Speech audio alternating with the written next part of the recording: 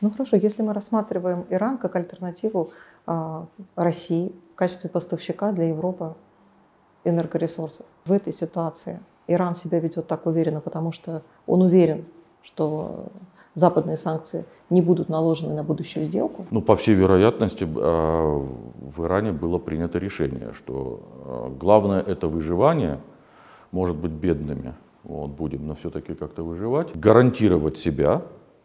Да, вот смотрите, Ирак, Сирия, э, Ливия продавали энергоресурсы в Европе. Это не спасло диктаторов. Главное ведь для диктатора это собственное выживание, а не торговые выгоды. Торговые выгоды это здорово, но это потом. Приоритеты должны быть. Совпадают ли интересы Армении с интересами Ирана вот в этой картинке?